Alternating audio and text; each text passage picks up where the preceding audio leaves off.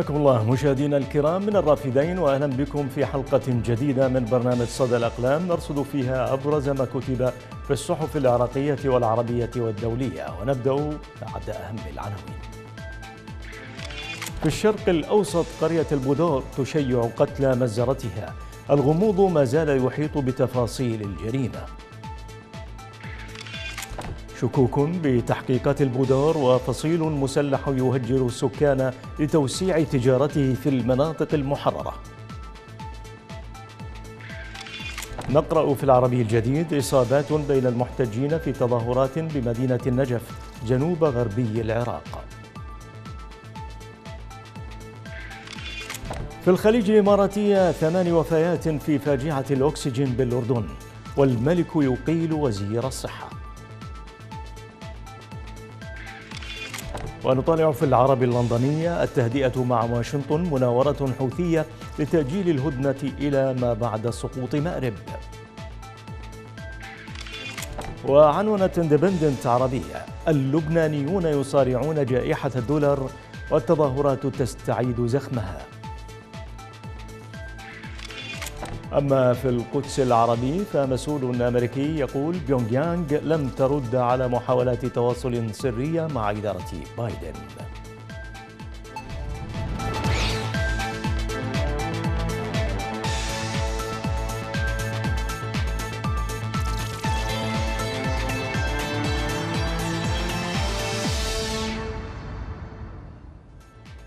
أسبوع القدس العالمي ليس مناسبة سابقة من نوعها على مستوى المضمون والنوع لكن الجديد هذه المرة يبلوره اختيار المناسبة وتوقيتها والنمط الذي صيغت عليه أنشطتها. وهنا جهاد بشير كتب في صحيفة البصائر أنه حين يتولى علماء المسلمين زمام المبادرة ليقودوا العمل في كبرى قضاياها فإن هذا يعني أن المسار الصحيح بات في المتناول وأن المسؤوليات أصبحت متراصفة أمام الجماهير والمؤسسات وأنظمة الحكم. كل يتبنى منها حسب موقعه ووظيفته وعلى قدر طاقته ومؤهلاته. إن أسبوع القدس العالمي خطوة فريدة وانتقالة فذة. ليس فقط في مساق الترويج للقضية الفلسطينية والدعوة إلى نصرتها بل لقضايا الشعوب كلها لا سيما تلك التي تشارك مؤسسات علمائها في فعالياتها. وتعمل على تبني رؤاه لأن من البداهة أن قضية القدس والمسجد الأقصى هي أم القضايا وقبلة اهتمام الأمة بكافة شعوبها. ولعل الموقف العراقي في أسبوع القدس العالمي أبين من بدر في منتصف الشهر. إذ بادرت هيئة علماء المسلمين وما يتصل بها من مؤسسات صحفية مساندة تقف البصائر في طليعتها إلى تبني فعالياته وتوظيف أنشطتها ووسائلها في سبيله.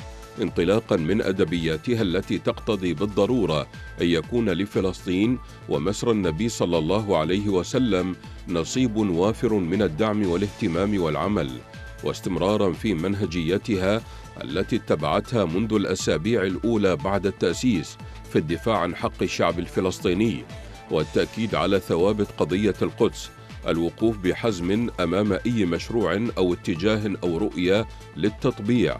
مع الاحتلال الصهيوني حتى بات الشهادات فلسطيني العراق خصوصا ومعظم القوى والشخصيات الفلسطينية بشكل عام بحق هيئة علماء المسلمين والشيخ الراحل حارث الضاري رحمه الله كأنها نجوم تتلألأ في سماء ليلة صيفية باهرة. وأضاف الكاتب أن أسبوع القدس العالمي ما هو إلا محطة في طريق طويل لا يجد فيه مشقة من يروم تحرير بيت المقدس ومناصرة المرابطين فيه. فإذا مضت أيامه وانقضت أعماله فإن القائمين عليه يتقدمهم العلماء مستمرون في الإبقاء على مضامينه عالية الصوت شاخصة المرأة ولا سيما أن المبادرات تشير إلى أن الأمة على موعد مع مشروعات فخمة ومواقف صلبة وخطوات ثابتة على صراط مستقيم بحسب أسلوب الكاتب.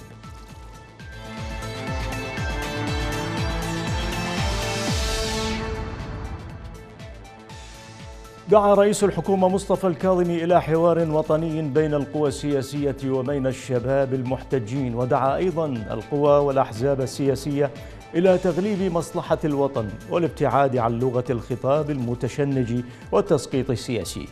هنا إبراهيم الزبيدي كتب في صحيفة العرب اللندنية أنه كما عودنا منذ جلوسه على كرسي الرئاسة لا يكف الكاظمي عن إطلاق الوعود الكبيرة التي لا مكان لها إلا في أحلام اليقظة وحدها. الكاظمي يريد أن يجمع النار والماء في إناء واحد وهو العارف أكثر من غيره باعتباره كان رئيسا للمخابرات بأن جميع الذين يدعوهم إلى حواره الوطني ليسوا أكثر من مندوبين معتمدين من حكومات وأجهزة مخابرات أجنبية. وأن كلامهم وأفعالهم محسوبة عليهم بدقة ولا يملك أي منهم حرية الخروج عن الصراط المستقيم الذي رسمه له سيده القابع وراء الحدود. حوار الكاظم اليوم يذكرنا بمصالحة رئيس الجمهورية السابق فؤاد معصوم فقد أصر يومها ومعه نائبه أياد علاوي ورئيس وزراء حيدر العبادي ورئيس البرلمان سليم الجبوري على تدوير اسطوانة المصالحة الوطنية وأغدق عليها الملايين من الدولارات من خزينة تمر بأسوأ حالاتها. وهو يعلم وهم يعلمون بأن لا مصالحة في العراق بين العراقيين بل هي مطلوبة بين الحكومات الخارجية التي لا تتصالح ولا تتسامح إلا بمقدار. فمن هو المختلف؟ مع من لكي يسعى رئيس الوزراء إلى جمعهما على طاولة حوار واحدة لتحقيق المصالحة في بينهما. ثم يتوقف القتل والنهب وتفجير المفخخات وتستعيد الخزينة عافيتها وتمتلئ بأكوام من الدولارات من جديد. ويصحو العراقيون على تغريد العصافير وأصوات الموسيقى تملأ الساحات والميادين بدل قعقعة السلاح المجاهد المهيمن القدير. أضاف الكاتب أن المصالحة التي يدعو إليها الكاظمي يجب ألا تكون مصافحة بين زعيم وزعيم قائد ميليشيا وقائد ميليشيا مختلس ومختلس آخر ثم يتفق المتحاورون على أن يؤخذ من نصيب هذا لترضية ذاك وتؤخذ هذه الوزارة من هذا الحزب لتهدى إلى حزب غيره. فنحن نريدها مصالحة صادقة وجادة حقيقية بين الشعب العراقي والشعب العراقي نفسه.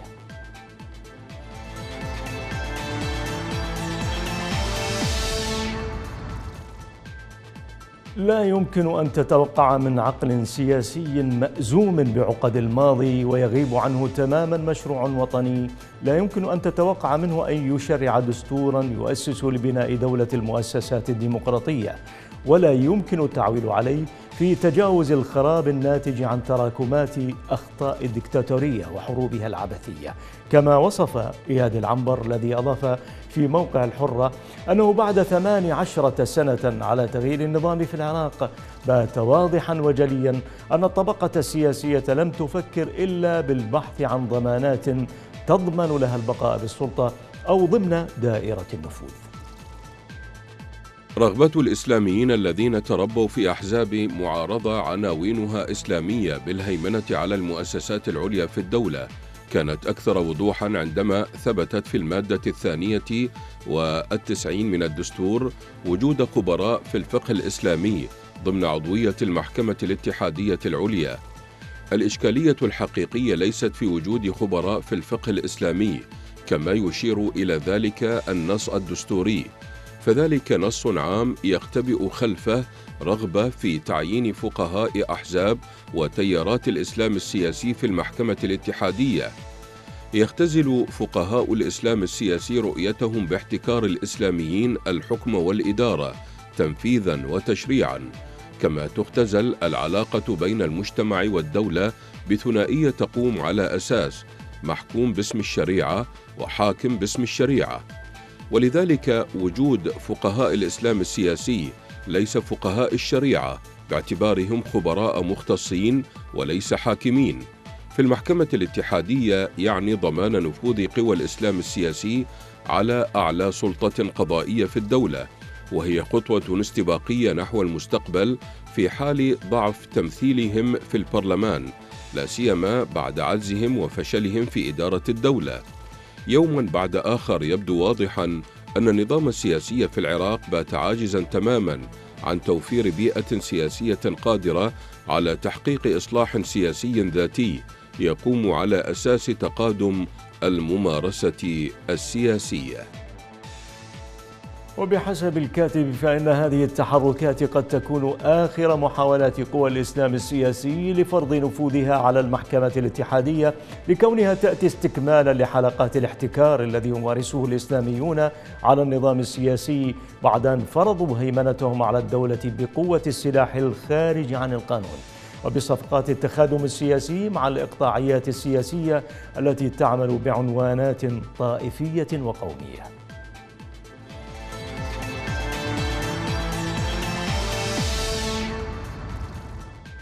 في لبنان تجاوز سعر الدولار أمام الليرة حاجز على العشرة ألاف وفي سوريا أيضا تجاوز الأربعة ألاف وفي العراق خفضت العملة بنسبة 20% وفي اليمن وصل الدولار في مناطق الحوثيين إلى 850 ريالا. وهنا ياسر الزعاترة رأى في موقع عربي 21 أن هذه الأرقام ليست لإضافة معلومات بشأن الأحوال التي وصلت إليها هذه الدول التي افتخر رموز محافظي إيران بالسيطرة عليها وإنما لقراءة مجمل النتائج التي وصل إليها مشروع التمدد المذهبي الإيراني. في الدول الأربع التي افتخر قادة إيران بالسيطرة عليها ليس ثمة غير البؤس. فيما يتصاعد الغضب على هيمنتها التي تؤدي إليه بدليل خسارة الظهير الشعبي الشيعي في العراق وإن بقيت السيطرة للميليشيات التابعة مع تصاعد في رفض وصاية حزب الله على الطائفة في الوسط الشيعي اللبناني. أما في اليمن فيغيب السخط على الحوثيين وممارساتهم وسط ردود الفعل على الإدارة الفاشلة للحرب في الطرف الآخر برعاية التحالف الذي تتناقض محاوره. لكن ذلك لا ينسي الشعب اليمني أن الانقلاب هو الذي فتح الباب لهذه الجولة الطويلة من الدمار. أما في سوريا فيكفي أن الغالبية ما زالت ترى إيران أهم الأعداء بل يصل التطرف بالبعض حد تفضيل الكيان الصهيوني عليه. إن ما جرى ويجري أكان بجلب العقوبات أم بمشروع التمدد المذهبي ومن طوى عليه من نزيف. وفي ظل فشل واضح له إنما يعبر عن فشل كارثي لقيادة المحافظين وقيادة خامنئي على وجه الخصوص إذ لا قيمة لحكاية الديمقراطية والانتخابات في بلد لا يخضع من يتحكم بالمال والسياسة الخارجية فيه لمنطق صناديق الاقتراع بل يتم الزعم بأنه يتلقى الأوامر من الله عز وجل عبر الإمام المهدي. هنا أضاف الكاتب أن القيادة الإيرانية استنزفت شعبها في هذا المسلسل من الإخفاق. في الوقت نفسه الذي ارتكبت فيه أبشع الجرائم على شعوب المنطقة ليس في سوريا واليمن والعراق فحسب إنما في عموم المنطقة. بهذا الحشد المذهبي الرهيب وبضرب ربيع الشعوب العربية. إذ لولا ما حصل في سوريا لما نجحت الثورة المضادة في ضرب مسيرة الربيع على النحو الذي تبع له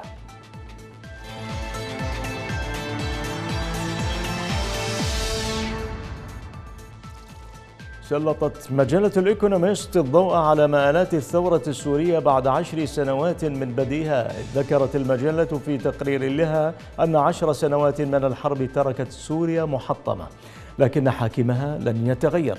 وأضافت المجلة أن الوضع الاقتصادي الآن هو أسوأ من عقد كامل وأن سوريا انقسمت واقعيا في حين قال المسؤول في الأمم المتحدة إننا نشهد بلقنة سوريا.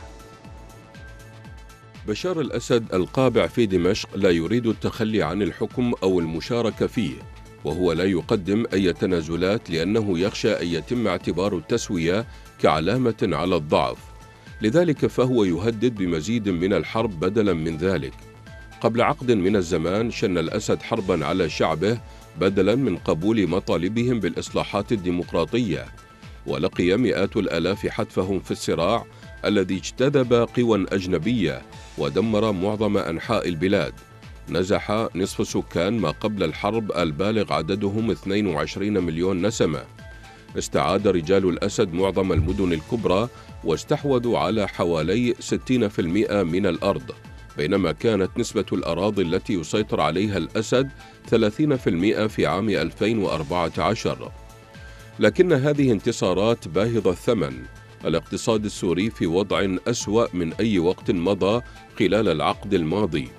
يتم تداول الليرة السورية بحوالي 1% من قيمتها قبل الحرب بالدولار في السوق السوداء. يمكن لحكومة الأسد أن تدفع 15 دولارا شهريا فقط لموظفي الخدمة المدنية. ويقضي الناس في جميع أنحاء البلاد ساعات في الوقوف في طوابير للحصول على البنزين. أسباب الأزمة كثيرة بما في ذلك الحرب والفساد والقيود المرتبطة بالفيروس والعقوبات الأمريكية وانهيار البنوك اللبنانية حيث خبأ الأثرياء السوريون أموالهم. أضافت المجلة في تقريرها أنه ربما يحاول رئيس سوري آخر أكثر براغماتية من الأسد. عقد صفقات مع السلطات الإقليمية ونقل السلطة في محاولة لإبقاء البلاد موحدة.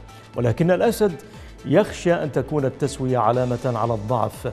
لذلك فهو يهدد بمزيد من الحرب بدلا من ذلك.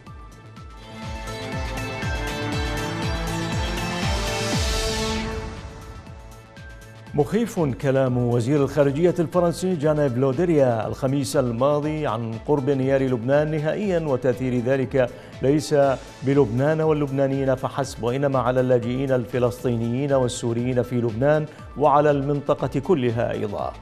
خير الله خير الله ذكر في صحيفة الرأي الكويتية أن الوزير الفرنسي يريد التحدث عن فرصة أخيرة ومدة قصيرة ما زالت متاحة لإنقاذ ما يمكن إنقاذه في لبنان.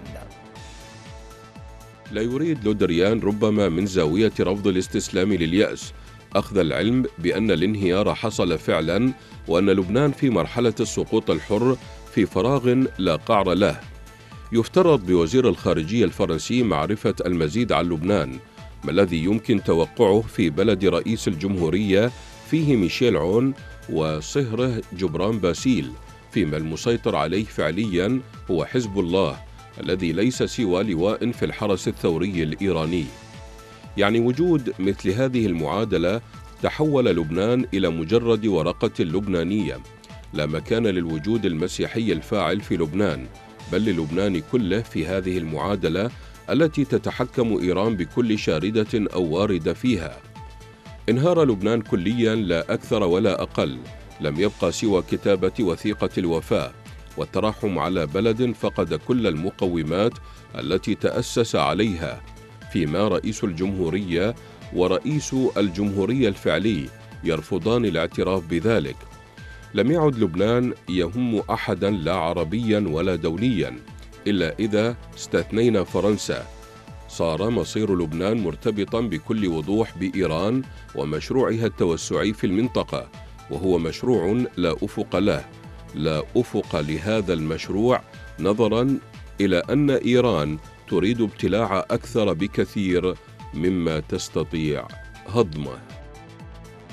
أضاف الكاتب كيف يمكن للرئيس اللبناني ربط البلد بمشروع مفلس أصلا من منطلق أنه يريد المحافظة على حقوق المسيحيين؟ هل سيبقى في لبنان مسيحيون كي يحافظ على حقوقهم؟ ذلك هو الخطأ الذي لا يغتفر لميشيل عون. الذي قبل أن يكون رئيسا للجمهورية بفضل حزب الله من دون أن يقف لحظة أمام مرآة وأن يسأل نفسه عن النتائج التي يمكن أن تترتب على ذلك.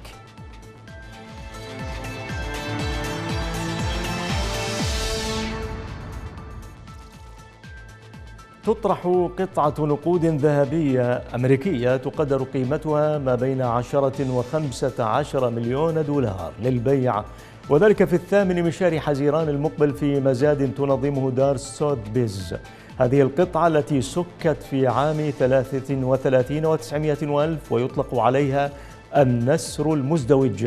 قد تصبح أغلى عملة معدنية في العالم متقدمة على الدولار الفضي الذي سكته السلطات النقدية الأمريكية في عام 94 و700 ألف وبيع مقابل عشرة ملايين دولار في عام 2013 ولم تتداول هذه العملة الذهبية إطلاقا.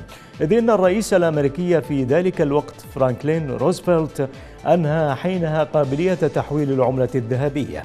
ولكن بعض القطع منها ظهرت في سوق هواة جمع العملات. قبل أن تصادرها الاستخبارات الأمريكية باستثناء قطعة كانت موجودة ضمن مجموعة النقود الخاصة بملك مصر فاروق. وفي عام 1995 اشترى بريطانيون من هواة جمع النقود هذه القطعة المعدنية. وبعد معركة قانونية استمرت خمس سنوات سمح له ببيعها قانونيا في عام 2002 إلى مالكها الحالي. المصمم الأمريكي ستوارت وايسمان مقابل سبعة ملايين وتسعمائة ألف دولار.